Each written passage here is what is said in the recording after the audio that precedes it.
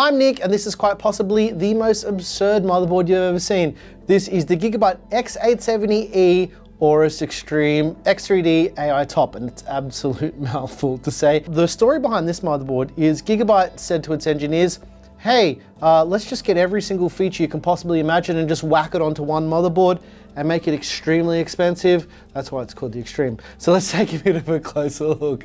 This one is a bit of a doozy. This video is brought to you by VIPSCDKey.com. Have you ever installed Windows 11 only to see the watermark of death? You don't need to fork out a couple of hundred dollars for a key. You can grab one from today's video sponsor, from VIPSCDKey.com for a tenth of the price. You can use our code GEAR to get 30% off for this month only. How good is that? That takes that already cheap Windows 11 key and makes it even cheaper. It's easy as placing your order. Bingo bango. You've got your new key on your orders page. You chuck that key into the activation screen and you're good to go. No more watermark of death. Use code GEAR to get 30% off for this month only. Link in the description. On with the video. Back to you, Nick. All right, here it is, the Gigabyte X870 Aorus Extreme X3D AI top. As you can see, the box here is absolutely massive and it's big enough to smash the overhead camera, but let's uh, take a look at what's inside this box. First of all, there's a kit with this. I'm not sure if this comes with the retail packaging, but it's got 32 gigs of V-color memory at 8,000 megatransfers included in the box. But again, I'm not sure if the retail version does come with this. I have heard that it does, but yeah, again, not sure here. As you can see, the packaging here is absolutely over the top for one of the most over the top motherboards you'll ever see. Uh, let's get that motherboard out of the way so we can take a look at all of the things that come with this board. And I gotta say, guys, it's a lot. And first of all, there's a cup. Yep, you heard that right. This motherboard comes with a sippy cup. Uh, this is kind of cool. This is something that I'll use, but yeah, weird that it comes with one. It also comes with a weapon, sorry, a bottle opener, just in case you wanted to use your sippy cup for some wine, I suppose. Not really my cup of tea. that was a joke. All right, there's a bunch of thermal probes that are included with the motherboard, as well as some Velcro straps for some cable management. There's lots to go through here, guys. There's also this little cover here. This is for the RAM. This is a cooler for the RAM. This basically just sits on top of your RAM and it's got an active cooler. I'll show this more in a moment. There's also this little ditty here, which hides all of the PWM fan connectors. It does come with a G connector as well, but as you're about to see, this motherboard has lots of little proprietary integrated ports, especially for those PWM fan connectors, because there are 12 in total with this board. It is absolutely jam-packed. There's also one of these USB Type-C DACs. Gigabyte tends to include this on their top end boards, and I think they've done this for, I'm going to say, the last seven or eight years. Yeah, I bet you they made like a 100,000 of these and they just need to get rid of them somehow.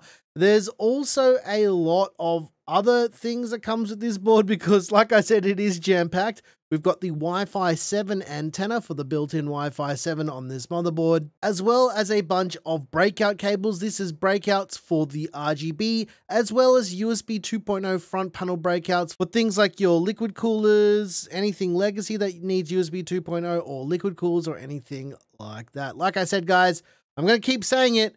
It's absolutely jam-packed. Not only that, it also has the front panel headers that connect to a little breakout cable as well. This is pretty standard for Gigabyte's Extreme motherboards. There's also a set of SATA or SATA cables for your 2.5 inch SSDs or your 3.5 inch drives. There's all of the documentation that you're going to need to get up and running with this board. Now, I have mentioned this in the past with these new Gigabyte boards, but all of the drivers for the networking are in the BIOS. Once you get Wi-Fi or Ethernet connected, it will download the drivers automatically. There's also this massive M.2 heatsink, which I'll show in a moment. This thing is almost like a CPU air cooler in itself. It's absolutely massive. It's also got a massive heat pipe and a huge fin stack. Like I said, we'll come back to this in a moment. There's also a contact plate. This is very interesting that this is included with the motherboard. Essentially what this does is it allows you to remove the factory mounting and retention system and use this in place of it to hold the CPU down. This will typically give a more even surface for cooling but also a bit better thermal conductivity if you're looking at doing something exotic with the cooling on this motherboard. That's kind of what this board's designed to be, right? Basically, anything you can imagine that they would design for a motherboard, this board just comes with it. And finally, the best inclusion ever, that Aorus case badge. All right, let's unsheath the X870E Aorus Extreme X3D AI top and take a look at what's on the board because like I said guys, I'm going to keep saying it, it's absolutely freaking jam-packed. We've got the header for the breakout for the front panel connectors for all your lights on your switches. We've got two USB 3.2 headers as well as headers for basically everything else that connects to the boards. You've got your RGB breakout front panel. You've got the breakouts for the rest of the stuff on the board as well. These include the cables that only plug into these headers so you can see that they're different sizes. So the corresponding connector will go in there. There's also two SATA or SATA ports for your 2.5 inch SSDs or your 3.5 inch hard drives as well as a USB Type-C front panel header, an 8-pin PCIe power connector, this is for PD charging for that USB Type-C header. There's the 24 pin power connector to send juice to your brand new motherboard. There's a USB Type-C port. There's two PWM fan breakout headers as well as a PWM fan header. There's also another USB Type-C header hiding next to the RAM slots as well. Next to that, there's a reset button, a power button, and a smart button you can map as well. This is pretty standard on these extreme boards from Gigabyte. To get to the top headers and connectors on the board, there's a magnetic cover that can just be popped off quite easily, and that will expose two more PWM fan headers on the top, the LED demo header, which I use to light the board up when we're filming videos like this, as well as two temperature headers to use with the included thermal probes. To send juice to your CPU, there's also two 8-pin EPS power connectors. The first thing you'll notice is you can only see one of the PCIe slots on this board. You can remove the cover quite easily. Everything on this board is magnetic. It just pops up. You can lift that away from the motherboard and it'll expose all of the PCIe slots. There's a PCIe Gen 5 by 16 slot up the top. The next slot down is a PCIe Gen 5 by 8 slot, as well as a PCIe Gen 4 by 4 slot right at the bottom. Both of the PCIe Gen 5 slots have a little quick release button for each of the slots individually. The top slot is just a quick release. The bottom slot is a toggle which will lock the card into place. And you can see how these mechanisms work right here. The VRM layout on this board is pretty crazy. It's got a 24 plus 2 plus 2 phase VRM setup and the 24 phases are a 12 plus 12 phase parallel power design, and all of the phases except the last two phases are 110 amp smart power stages. You can see that there's a massive heatsink for the I.O. cover that will help for the VRM cooling, as well as another heatsink at the top of the board and both of the heatsinks are connected with a heat pipe. The elephant in the room with this board is that I.O. cover. It does have a 5 inch screen which you can put basically anything you want on it, but for the purposes of this video, I'm not showing anything on the display here because I haven't used this board at the time of filming. Because this is an AM5 board, it has a standard AM5 socket with standard AM5 cooler mounting, but as usual with our motherboard videos, I like to pop the socket open just in case you've never seen inside of one of these sockets before, but chances are if you're buying a board like this, you would definitely know what the inside of an AM5 socket would look like, right? It's an absolutely insane motherboard. If we flip the board over, you can see it's got a full cover backplate. It's not just aesthetic, it does help with cooling the backside of the board here. This board also features an 8-layer PCB. As for memory compatibility on this board, it's got four DDR5 DIMM slots, which will support up to a total of 256 gigs of memory at 9,000 megatransfers. Remember guys, that's a specification, not a recommendation. Getting better at that song every time. As mentioned, it does come with a cooling solution for the memory. What you want to do is remove this magnetic cover. It'll expose some magnets as well as some pogo pins for the lighting. And basically you just want to drop that cover on and it kind of locks into place with a satisfying snap. And you can see, as I mentioned, it is actively cooled and the fan is powered through those pogo pins. You can see the fan at the top of the shroud here. Storage is an interesting one on this board. Nothing on this board requires a tool. It is kind of nice to see that this is ubiquitous across this entire board. Basically, to release the top M.2 heatsink, it's a button, you push it in, you can pop that heatsink away, and then you can release the other heatsink with a little latch. You can lift that away from the motherboard, and this will expose all of the M.2 slots. There are five in total. There's two PCIe Gen 5 M.2 slots on this board. They're labeled with the little Gen 5 cover on the connector for each of the slots. And there's three PCIe Gen 4 M.2 slots. Interestingly, as I showed before, it does include a massive heatsink for the top M.2 slot. And the way this works is you would remove that heatsink like you would usually and then you lock that big one into place. It does have lighting on it as well. As you can see here, guys, this heatsink for an M.2 slot is kind of ridiculous. It's massive. It's the height of some air coolers. It's pretty crazy. As for rear I.O., we've got a Q Flash Plus button, as well as a smart button you can map. There's an HDMI 2.1 port, a line out jack, a microphone jack, SPDIF slash optical audio output, as well as a bunch of USB 3.2 ports. There's two USB 4 Type-C ports. There's dual 10 gigabit ethernet. There's the antenna connector for the built-in Wi-Fi 7 and some more USB 3.2 Type A ports.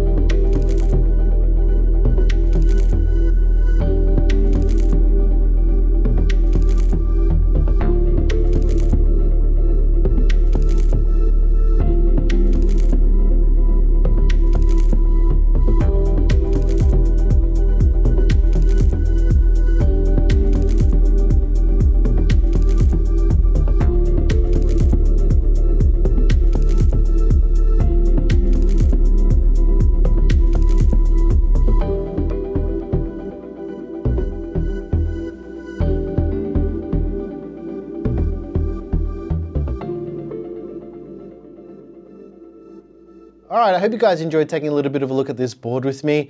There's a couple of things I want to chat about because it's kind of interesting in, in, in, a way, I suppose. Well, you guys know with Gigabyte Extreme boards, they're always going to be really expensive. I don't know what the pricing for this board is in particular, but I, it's going to be over a thousand US dollars. And to be honest, I think this one will even be close to 2,000 Australian dollars because the feature set for this thing is absurd, but it's not the only absurd thing about this board. Check this out. I want to show you guys the size of the box that this comes with. Now, I don't know if the scale came across when I was had it on the table before, but look at this, right? This, this box, I'm not kidding, is the size of an M-ATX case box. I, I don't understand uh, this box.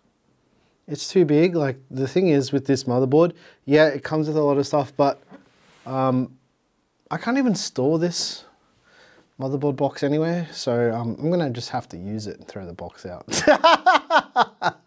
so make sure you uh, subscribed and tuned in for all that stuff because you know how that goes. But speaking of this board and its absurdity, the feature set, guys, it's got a 24 plus 2 plus 2 phase VRM layout. It's got this magnetic the magnets are really strong, mind you. It's got this magnetic cooler for the RAM with like active cooling. It's got a fan. It also comes with a memory kit. I'm not sure if the retail version comes with a memory kit. In fact, I'm not even sure that the retail motherboard box is that big. I'm guessing it still would be that big because it comes with a sippy cup. I, have I've never seen a motherboard come with a sippy cup and a bottle opener.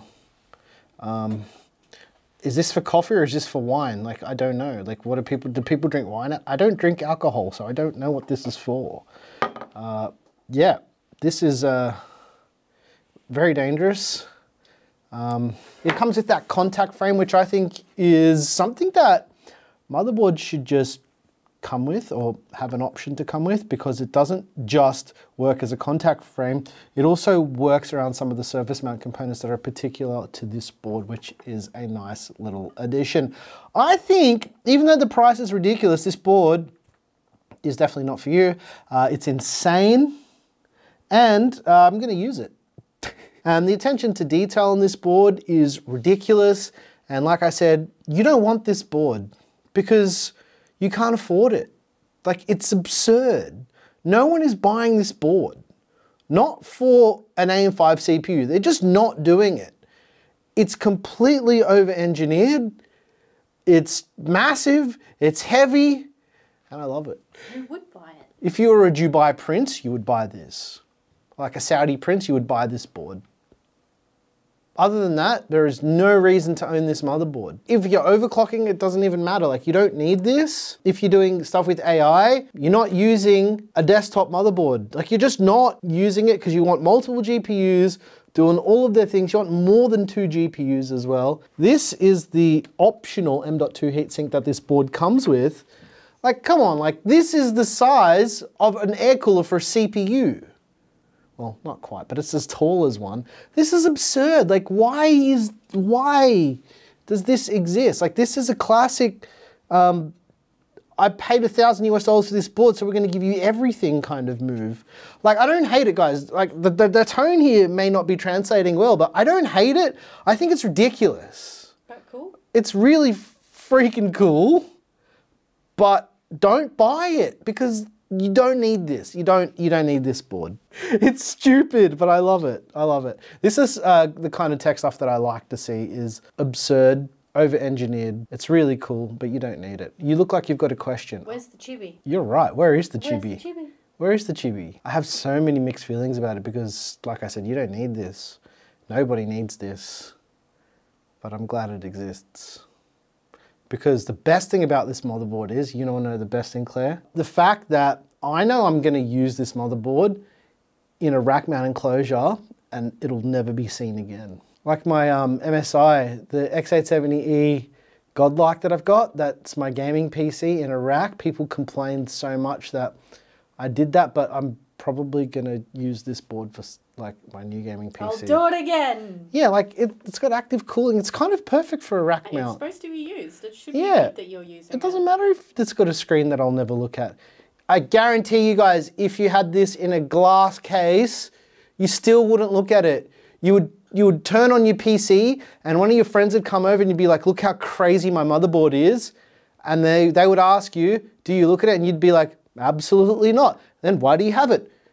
Because I can it's cool. because you can. You can. Okay, the bottom line, guys, with this board is it is crazily over-engineered. Do you need something like this in your life? Probably not. Is it cool that it exists? Absolutely. Will I be using this for builds? Yes. Will I be using this for a personal rig? Most probably, because I think uh, it's ridiculous. Yeah, I love it. Your wallet won't love it, but uh, the idea of this board is what I think is really enticing about it. The idea that they've just squeezed every feature you can imagine into a motherboard onto a single board is very interesting.